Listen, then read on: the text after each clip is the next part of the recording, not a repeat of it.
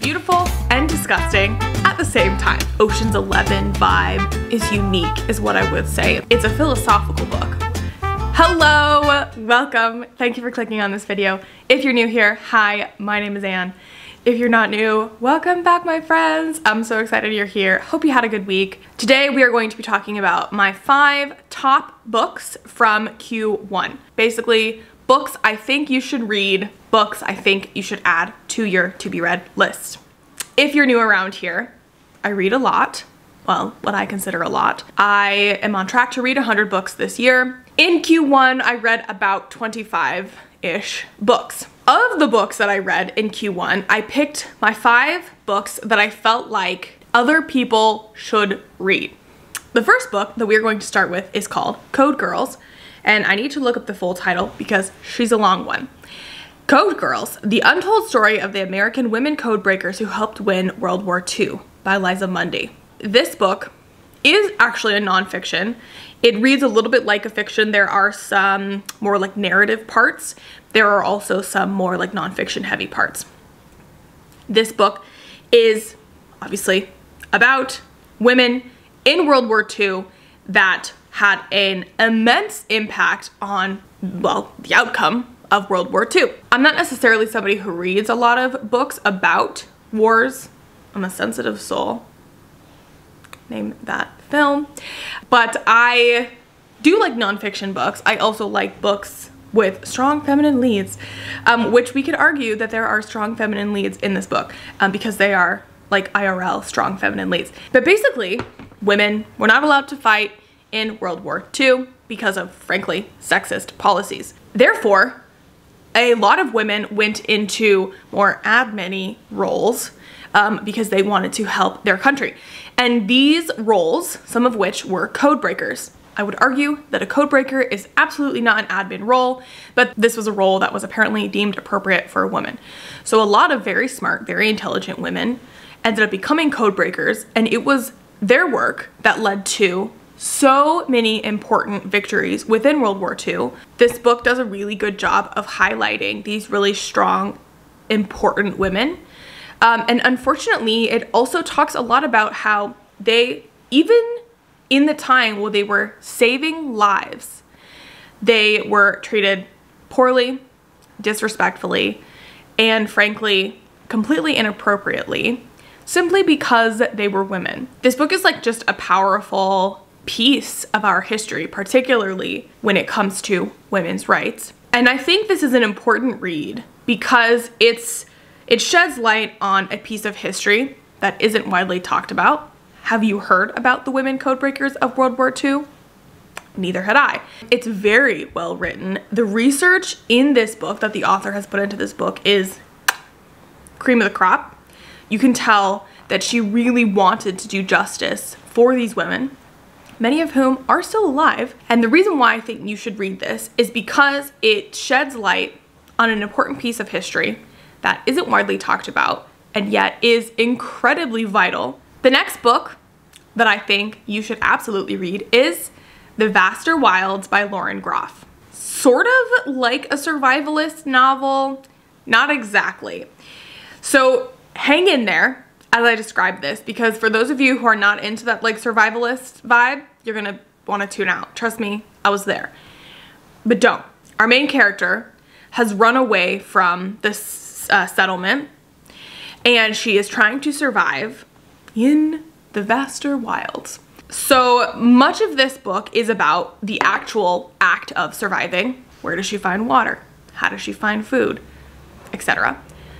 There are parts of this book that sort of throw back to her time in the settlement, how she got where she was, her life, etc. This book reads like a period piece. Like if you were, like if, honestly, it reads like a Bronte novel or something almost. That is the language in which the author writes. She doesn't use punctuation like we normally do, you know, no quotation marks, things like that. And the book is very, I would almost describe the prose as lyrical, which sounds a little bit like, mm, but it works so well because this book is so incredibly immersive. Here you are following a young girl as she attempts to survive and you are consistently rooting for her the whole time. And that said, this book is simultaneously beautiful and disgusting at the same time. Again, prose, beautiful. Storytelling, beautiful. This book is very uh, descriptive. There are some rather squeamish parts. So if you're squeamish, FYI. The reason why I think you should read this book is because it is one of those books that will be your Roman Empire.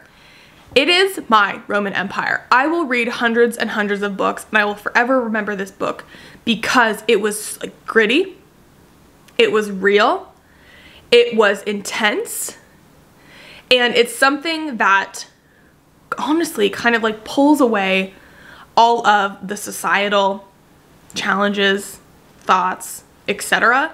And you really get in there into, you know, the survival of this girl. So that's why I said it's a little survivalist, but don't think like Hatchet or whatever, you know, that book that we read in like high school or middle school or whatever. The next book is Poison for Breakfast by Lemony Snicket. In particular, I would recommend listening to this book because Patrick Warburton narrates this book. An icon, if ever there was one. So Lemony Snicket, you may know him as the author of the A Series of Unfortunate Events, um, those were all the rage when we were younger. If you're around my age, I'm sure you read them. This book is like a novel, I suppose. Frankly, it's a philosophical book, which I hesitate to even say that because if somebody were to say, oh, read this philosophical book, I'd be like, absolutely not. I'm yeeting out of here. And I don't want you to yeet. Do not yeet. It's like a little comedic, a little philosophical, a little novelesque, it's a short story. It was like three hours or something on the audiobook. Um, and essentially, we have our main character. It is, in fact, Lemony Snicket. And the whole premise of the book is that he has eaten poison for breakfast. So he essentially goes through his plate and he tries to identify where each piece came from and if it was in fact poison. It sounds like weird, right? It sounds like a weird concept for a novel and it is, but it's also incredibly engaging. It's funny, it's entertaining. And the way that he writes, I love the way that he writes. He writes like satirical, but not like blatantly satirical. And I really think he has this gift of creating a world outside of the world. Like, I don't even know how to describe that. How does he world build with his language and his language alone? So if you liked the writing style of A Series of Unfortunate Events, you will absolutely like this. The other thing that I think is great about this book is that you might get a great breakfast idea out of this because what he eats for breakfast is like low-key a delicious breakfast. And um, I in fact ate that breakfast for several days after I finished reading the book. So not only do you get a great story, thought-provoking, interesting, funny, you'll also get a stellar breakfast idea. Who doesn't love that? All right, the fourth book on my list here is The Art Thief, A True Story of Love, Crime, and a Dangerous Obsession by Michael Finkel. This is a nonfiction book. It's pretty short, it's pretty small. The book is based on a true story. Basically, it details this famous art thief and his escapades across Europe and sort of like a little bit of his like childhood, his relationships, etc. What leads him to do what he does and sort of his, um, the story of how he was caught and things like that. However, the author puts this story together as though it were a fiction book. So the way that he writes, he writes as though the thief is your main character and you are reading a fiction. I think coming out of this book, I have a different perspective on art, museums, this idea of like artifact collection. I think you should read this book because it was entertaining, it was fun, we're following an art thief, which like who doesn't love the like, you know, um, Ocean's 11 vibe. And it's just an interesting like glimpse into the mind of a thief. We are at the end, my friends. The last book that I think you should read is The Scent of Rain and Lightning by Nancy Pickard. This book was one that I had not heard about before, but I saw it in the library when I was perusing and picked it up. This book is a historical fiction. Um, it's got a little bit of a mystery in there. So you have that nice element. It takes place in a very small town. Essentially, we have our main character. Her name is Laurie Jo. Her mother disappeared when she was a child. her father was shot and killed and she grows up with her uncles and her grandparents in this very small town. Everybody knows what happened to her family. The man who was convicted of shooting her father is getting out of jail. He is coming back to the small town, so she's dealing with that.